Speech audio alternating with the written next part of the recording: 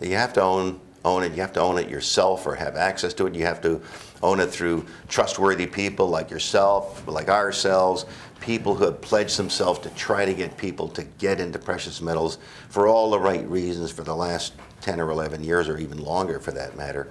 So it's, um, I, I love coming to conferences like this. I'd like to be more of a spokesperson for silver and gold.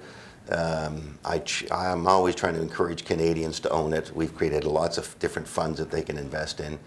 And um, that's has been the way it is. I mean, it's shocking that it's been the best asset for the last 11 years, and we can still hardly muster up um, a real surge of common interest in it, but it's coming. But, I mean, you've reached out beyond Canada. Your PHYS and PSLV are listed on the New York Stock Exchange.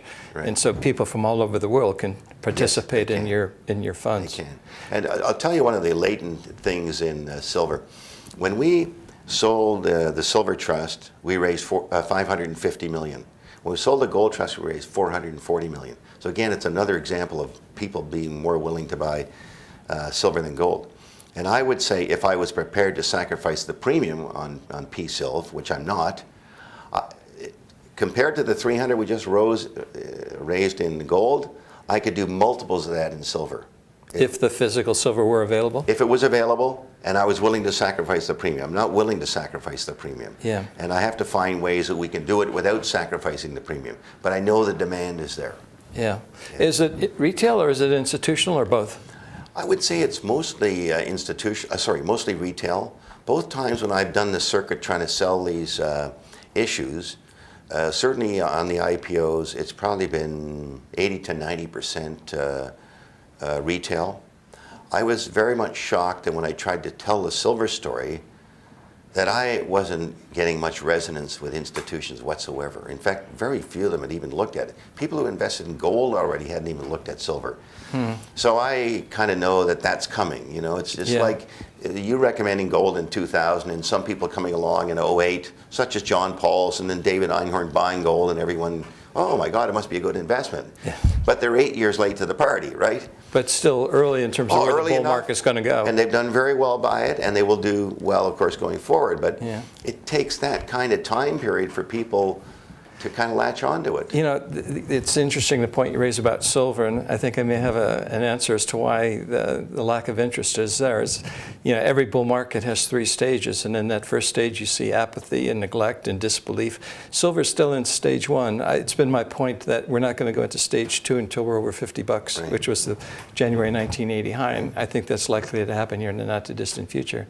Once that happens, then that's going to go onto people's radar screens, and you go into the second stage of right. silver's bull market. So maybe in a year's time, yeah. when you make that circuit, yeah. uh, you're going to get a lot well, more interest than you do at the I, present. I can feel the difference already, right? I mean, it was a year ago, almost a year ago, we did the. Yeah, I mean, who thought $50 silver a right. year ago was possible, other than a couple of people like ourselves? It was quite predictable. I thought anyway.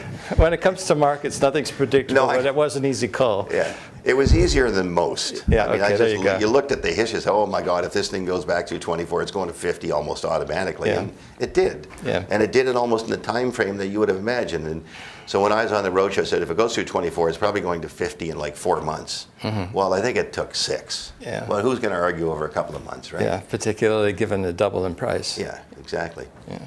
So they'll, I think they'll, the investors are coming around to it. It's, I was actually in a little in, in dismay when I've been listening to some, you know, the, the bubble vision, and like every third guy likes gold now or is willing to admit that maybe he, you know, you could have gold in your portfolio, which was disturbing, having gone through the 11 years when no one would even mention it or as a barbarous relic or whatever.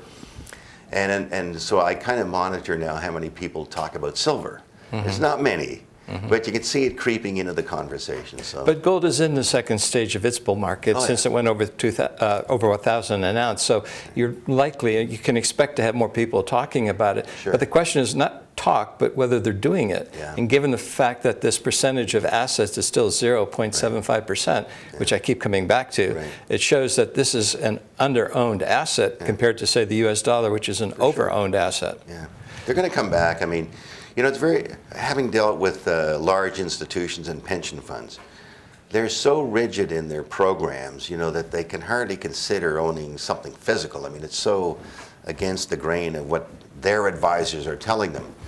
But uh, you know, gold having gone up by whatever it is, 700% here. I mean, the advisors are coming around, and of course, seeing silver up and seeing all the other commodities go up. They're finally giving some uh, credence to investing in that area, and it'll be slow. I mean, we saw the first example of, I think it was Texas teachers by close Well, I was going to ask you about that. Was that sort of a watershed event, and that sort of added Oh, some yeah. legitimacy to the sector Yeah. and the institutional investor side?